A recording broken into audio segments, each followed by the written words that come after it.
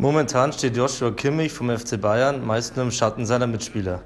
Während er in der Hinrunde noch fester Bestandteil der Startelf war, bekommt der 22-Jährige in der Rückrunde deutlich weniger Einsatzzeiten.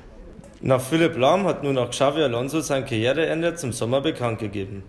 Laut Karl-Heinz Rummenigge sei Kimmich der optimale Lahmersatz auf der rechten Abwehrseite. Trainer Carlo Ancelotti sieht Kimmich allerdings eher im Mittelfeld, wie man auch heute im öffentlichen Training deutlich erkennen konnte. Diese Position ist jedoch bei den Bayern bestens besetzt. Wir glauben allerdings nicht, dass sich die Türen für Joshua Kimmich so schnell schließen werden.